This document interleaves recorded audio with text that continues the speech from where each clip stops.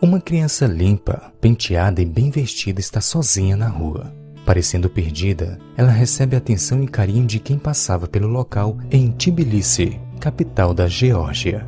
Em outro momento, agora mal vestida, com o cabelo desgrenhado e aparência de moradora de rua, a criança é ignorada pelas pessoas, mesmo estando sozinha.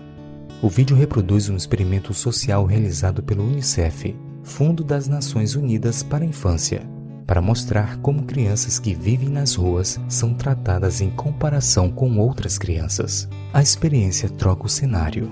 Agora, num restaurante, a Nano, de 6 anos, circula entre as mesas e se senta em algumas delas. Quando estava bem vestida, era acolhida pelas pessoas que conversavam com ela e tocavam em seus cabelos. Já maquiada, apresentando estar maltrapilha, era tratada com rispidez um homem pede para um funcionário retirá-la do local.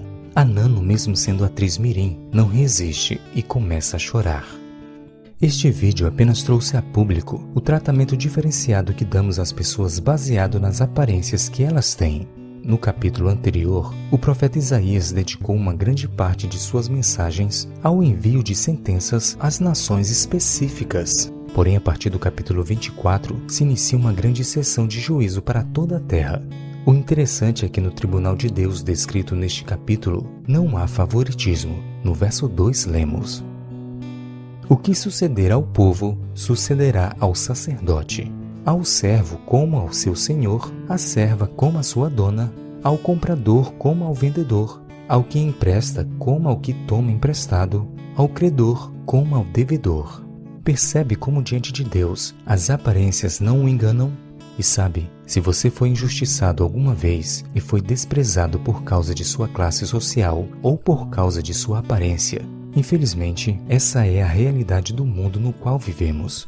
O que nos consola é que um dia Deus julgará todas as pessoas e nosso papel não é agir conforme aqueles que nos maltrataram. Não podemos passar de oprimidos a opressores. Nós podemos mudar o mundo mudando primeiramente nosso comportamento.